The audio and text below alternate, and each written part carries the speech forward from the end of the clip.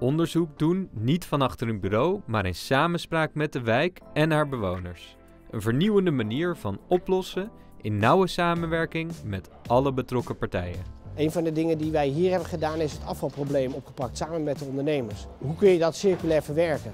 Wij willen heel graag dat dit Living Lab een ontmoetingsplek is voor heel de buurt, misschien wel heel de stad, om te leren over vitaal oud worden en zo lang mogelijk zelfstandig met plezier thuis wonen. In de loop der jaren zijn er stadslabs door heel Nederland opgezet. Maar wat maakt deze stadslabs precies zo succesvol?